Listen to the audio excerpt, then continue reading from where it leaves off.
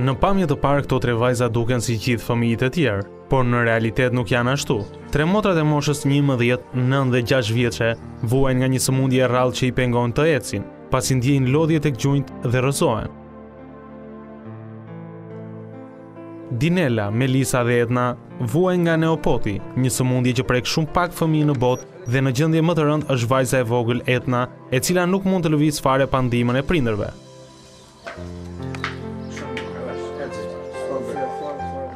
Dritan Perleka dhe Mirela Perleka, prindërit e tyre, shprehen se sëmundja u është shfaqur që në moshën 2 vjeçare, ndërsa kurimi është i mundur vetëm në spitalet jashtë vendit. Ata thonë se nuk kanë mundësi financiare për t'i dërguar fëmijët për kurim jashtë shtetit, pasi kostoja është shumë e lartë. Kanë vështirësi me ecje e të gjitha, e o unë o nusja, s'ka mundësi kush t'i çojë në shkollë.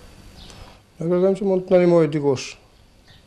Pak të bëjmë testin gjenetik ta dimë që cila është diagnoza e fëmijëve. Mundësitë financiare për ne janë zero se s'bëhet fjalë dhe një përkrahje sociale që e kena pas na e kanë heq Se ka dal makina e bashortit tim. Bashorti im ka hi kredi në shtet për ta marr për t'i çu fëmijët në shkollë. Kush mund të ketë mundësi të na nimoj këto duhen fizioterapi, këto duhen analizat gjenetike se do t'bahen se s'bën për ta cilësu se çfarë kanë.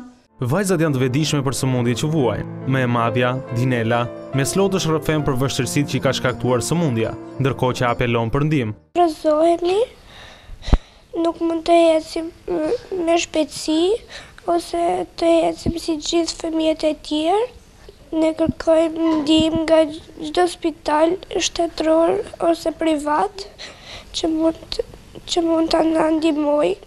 Familja prej dhjetë anëtarësh e Dritan Perlekës jeton në kushte shumë të vështira ekonomike, pasi e vetmja e ardhur për ta është rroga që merr kryefamiljari. Çdokush që ka mundësi mund ta ndihmojë këtë familje në mënyrë që tre vajzat e vogla të rriten si gjithë fëmijët e tjerë. Por sot një apel shkon edhe për qeverinë, e cila mund të mbulojë një pjesë të shpenzimeve për kurimin e këtyre vajzave jashtë vendit.